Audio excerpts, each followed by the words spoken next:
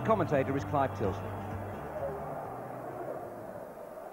It's 10 months since Andy Dibble played in the First Division. A Welsh international he may be, but he's now considered Manchester City's third-string goalkeeper. But with Tony Coton flu-bound and Martin Margetson injured, Dibble has been recalled from a loan spell with Bolton to play behind an otherwise unchanged team. Peter Reid unable to pick himself because of a hamstring problem, continuing to show faith in 20-year-old Irish winger Michael Hughes. Leading scorer there is David White, who was eventually credited with two of the goals that beat Chester here on Wednesday. Niall Quinn got just one of them. No arguing with the four that Andy Ritchie scored in Oldham's 7-1 morning of Torquay in the Rumbelows Cup. He starts a First Division match for the first time in eight and a half years today since his Brighton days. Joe Royle accommodating Ritchie in a typically adventurous lineup. Richard Jobson returns after a month out nursing a fractured cheekbone. Earl Barrett switches to right back. Ian Marshall's return means a four-man attack. Ritchie, Marshall, Sharp and Holden should be lively. Keeping count today, Stephen Lodge, whose name has just been put forward by the FA to become an international referee.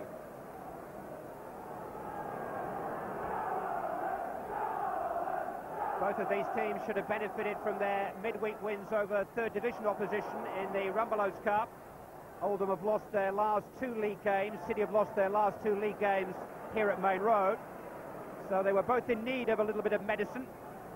We'll find out today just who's got the bigger pick-me-up. Certainly a, a big pick-me-up for the career of Andy Dibble is recalled today.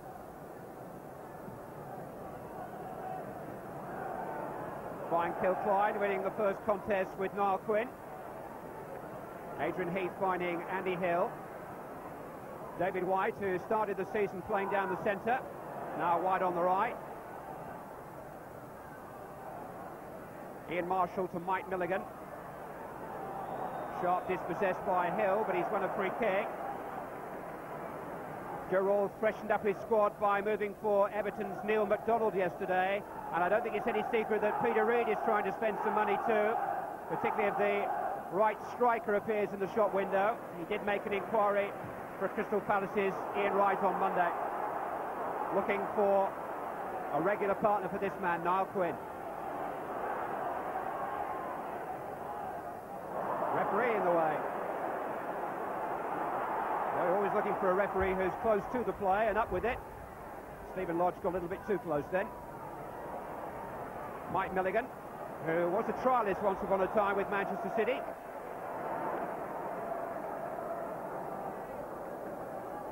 Hill. Heath. Good challenge by Jobson, but Quinn's got it on towards Hughes. And Hughes has got away from Barrett momentarily, and he's got support from Neil Pointon. And what a chance this is for the fullback. Good save by John Hallworth. Pointon might just have it on a pace or two if he had his time over again.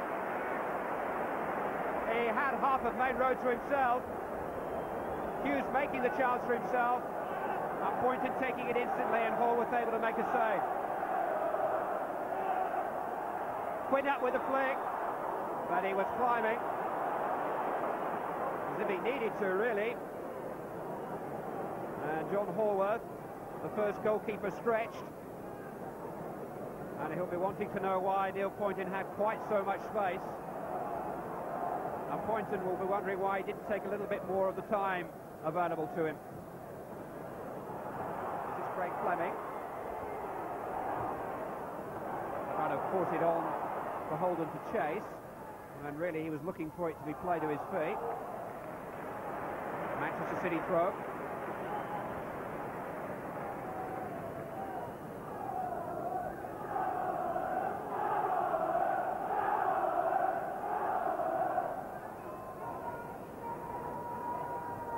Holden swept in towards Ritchie and Hill pointed very calmly, just took the sting out of the situation, guided it back to his goalkeeper, and it's quickly forward into the Oldham half of the field for on to Michael Hughes' pass.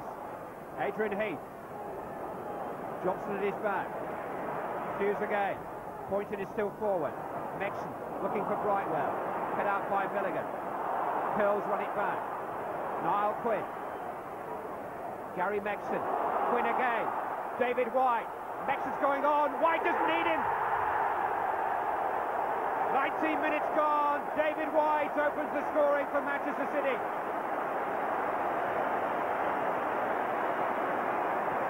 His third of the week. Set up by a lovely interchange. Niall Quinn playing in the scoring pass. Megson's run helped his cause and he squeezed it between Jobson's legs and into the corner of the net. Megson was certainly a diversion there, making that run to White's left. White simply spun away from Megson and knocked it into the corner. It's his first league goal since the opening week of the season. His sixth of the season, and Manchester City lead. Manchester City do have a problem with Keith Curle, and I think a substitution might be imminent. And indeed, Curle's participation in this match curtailed after 33 minutes. The skipper departs, and in his place will come Colin Hendry, who's made a really dramatic impact as a substitute in the last couple of league games.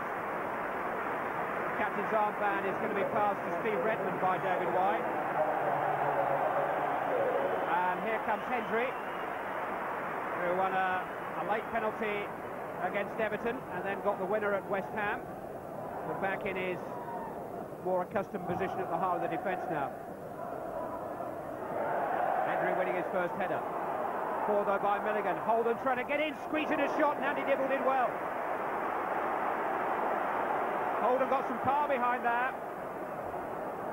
And Andy Dibble, who was playing for Bolton against Wigan Athletic in front of less than 7,000 a week ago, quickly attuned to the pace of First Division football. Holden will attempt to test him again. Long towards Ritchie. Hendry did well once more. Milligan. Barrett. That's awkward for Dibble, who came and then went back. Rick Holden. Looking for Sharp. Got his head to it, but Redmond jumping in front of him. Sharp could only knock the ball over the crossbar. But Rick Holden is such a source of danger for anybody that Oldham play against. Countless crosses he reins in, and he varies them so well, and so many are of the right quality. And he found Graeme Sharp there, but he couldn't quite find the net. Well, Manchester City now have a problem with Andy Hill, having already lost Keith Curle. Hill is limping out of the game. Both substitutes on before half-time, and whereas Hendry was an ideal replacement for Curle, Mike Sheron here is a striker, and so Manchester City will have to reshuffle.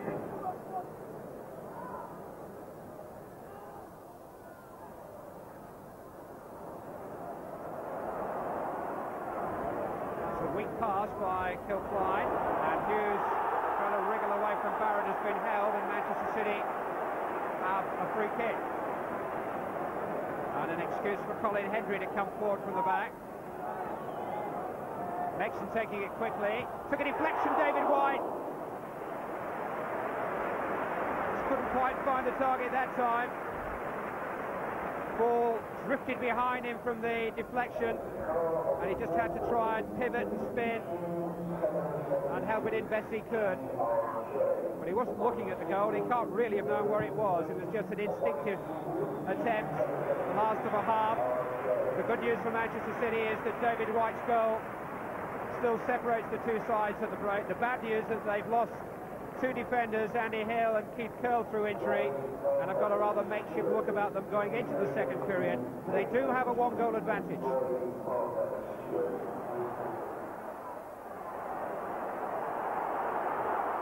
David White, always a chance for him to do something on the break.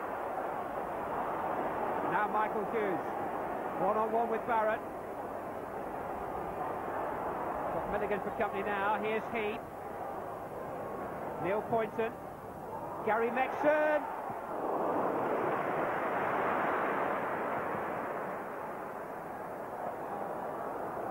Sharp with a flick on.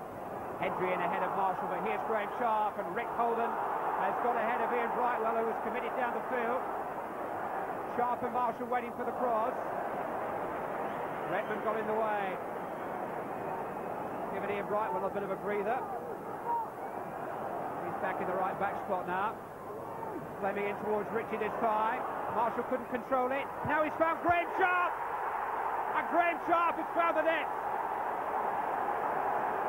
Ten minutes of the second half gone. Oldham on terms. Graeme Sharp's first goal in the first division for them. Expertly taken. Oldham had men over beyond the far post. Ian Marshall took a time to get it under control. Graeme Sharp didn't though. Instantly in. Andy Ritchie. Whipped in beautifully towards Sharp, looking to set up Marshall. And there Adrian Heath feeding off Graeme Sharp as he did so well at Goodison Park for so many years. In all the different circumstances. Holden crossing yet again. Redmond just touching it away from Sharp. No let up at the moment. Ritchie this time. Megson away. Milligan back in there. Hendry away. Ritchie this time tossing it in towards Fleming. Redmond the buffer. Marshall down. Henry to Holden. It's ceaseless pressure. Sharp waiting! Sharp scoring! Two in ten minutes for Graeme Sharp. Two in ten minutes for those Oldham fans to celebrate. Oldham 2-1 up.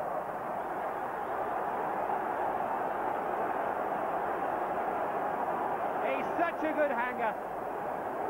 He gets up off the ground and just seems to stay there. Great header. Dibble beaten close to his post. But it was such a well-delivered and well-executed header by Sharp. 25 minutes remaining. Manchester City 1, Oldham Athletic 2. And if you forgive the pun, Oldham have looked altogether sharper in this second half.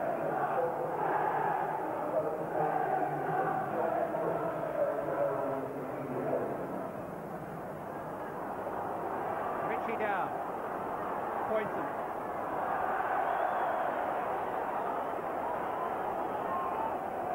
Oh, Manchester City just couldn't get out of their corner then. The attacks came raining in, and Graeme Sharp made them pay.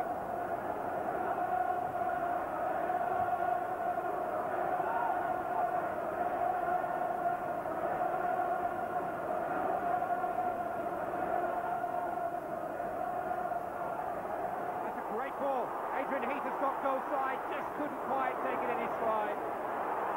Corner kick though, Brian Kilcline run it out. Adrian Heath desperate for a goal, just straining to bring that under his control.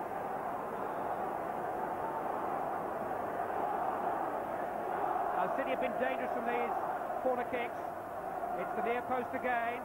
Kilcline's header, away by Jobson. Sheron, back in towards Quinn, jumping against Hallworth. Bound to be a free kick.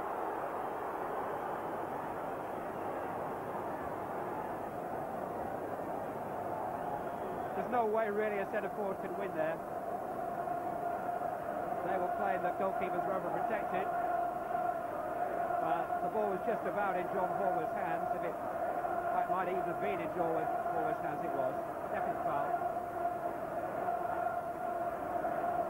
Time for a conga.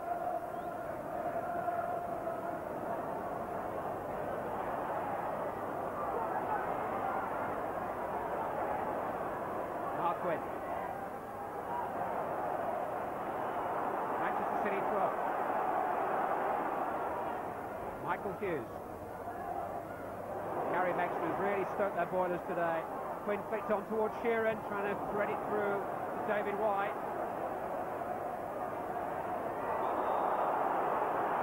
Not much about the outcome of that little collision.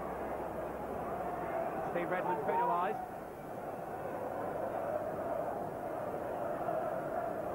That's what they call a sandwich.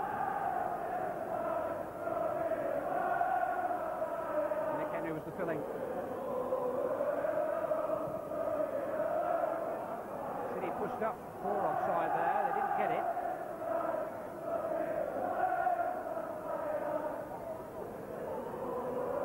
We're into the last quarter. 2-1 Oldham lead.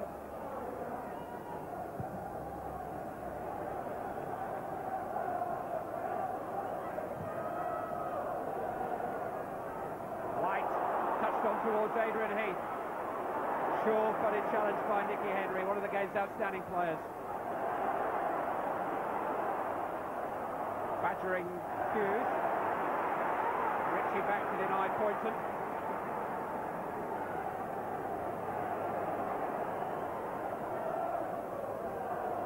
Neil Pointon onside. Headed by Rick Holden. Niall Quinn. Setting up Brightwell skillfully.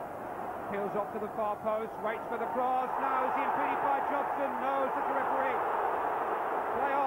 Neil Pointon in possession, Quinn still down, way by Milligan. Quinn's now lying in an offside position. Neil Pointon just knocks the ball out of play. Neil Quinn, Niall Quinn clutching his right knee, but the real disappointment for him is that he didn't get a decision here. Richard Jobson it was who challenged him. And he was maybe a little fortunate there. Quinn had got goal side of him. I think we get a better view of it here.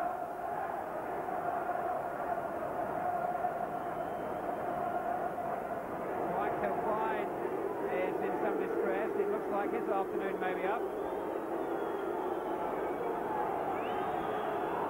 Oldham Athletic have a substitute ready to replace him.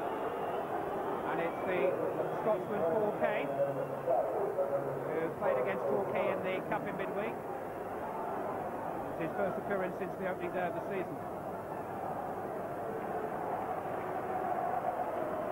Marshall the only man forward.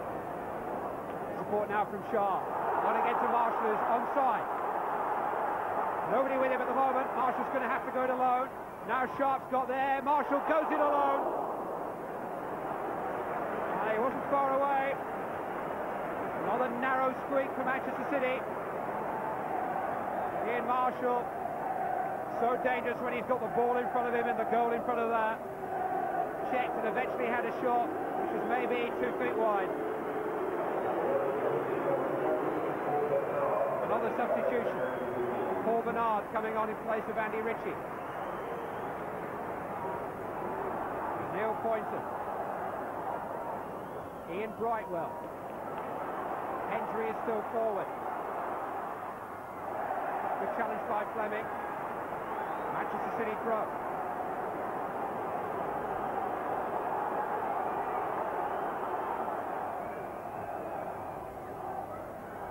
Away by Barrett. Only as far as Steve Redmond. He can strike them so much more cleanly than that. A bit of anxiety inevitably showing in Manchester City's last-ditch attempts to say something from this game. So many away points that Oldham feel they've deserved have slipped away from them in the opening weeks of the season. They're hanging on pretty grimly to the three that they have in their possession at the moment. It's away day success for Oldham at last. Gerrall may well go the long way home tonight. His team will want to savour their first away win in the big league. A happy return to Maine Road for the big man. Manchester City 1, Oldham Athletic 2. Well, another home defeat. Uh, obviously not that very happy, not very happy, but um, these things happen in football. Uh, we had to reorganise a little bit when Keith and uh, Andy went off, and uh, thought we defended too deep in the second half and let, let them get too many crosses in at us. I think we were a, a little bit sloppy in the first half when they were getting to the ball first and whatever. So the gaffer told us in no uncertain terms at half time what he expected of us in the second half. So I think uh, half the credit goes to the gaffer there. You know all about Graeme Sharp. A little bit about him, yeah. Two good finishes, and uh, it's killed us in the end of the day. But uh, there's always next week, and you just got to keep your heads up, work hard. No danger. I think we will get it right. Obviously, They've had a few injuries and he's in the transfer market for new players, but uh, there's no problem. I think we will get it right. I know the sort of a person Peter Reid, and uh, I don't think he'll be happy